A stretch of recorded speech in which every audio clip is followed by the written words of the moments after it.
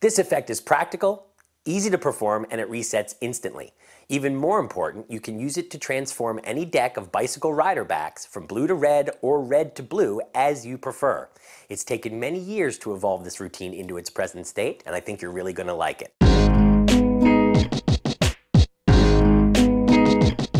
All right, in this trick, you hand the spectator a wild card.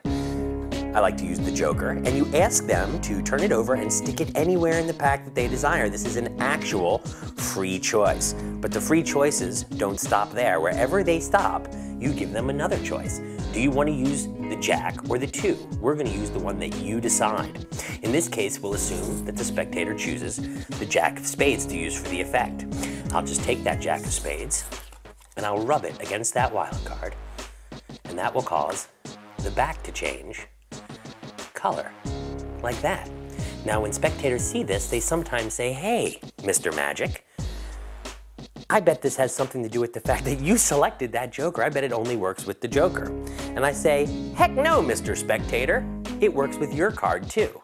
Watch, I'll show you what I mean. We'll use your card this time. The Jack of Spades. Keep your eye on that card and don't take your eyes off. You'll see something truly amazing. I just rub that jack back like this, all the cards transform. Each and every one turns red, red, red, red, all the way through the entire deck, except for my wild card, the Joker. Ah, oh, heck, it's a magic show. Why not make dreams come true? The Joker is red. All the cards are red.